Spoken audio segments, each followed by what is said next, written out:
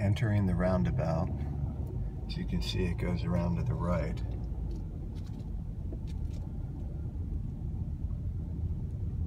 Here's one of the exits to the roundabout. There's another car entering. We're going to take at least one full turn around.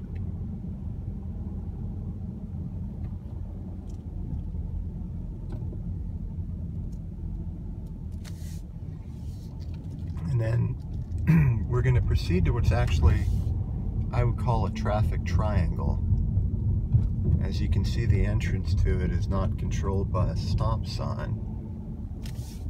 Then we're going to make a very sharp right, which probably wasn't the intention. And then at the top of the road, the triangle is controlled by a stop sign.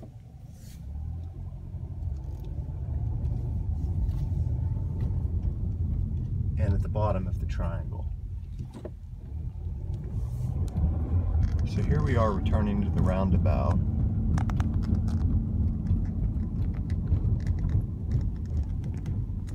And you can see the yield sign.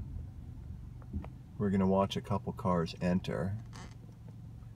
There goes a car through the roundabout. Everyone seems to be proceeding as expected. This one looks like it's going to come not the whole way around, but three quarters of the way around.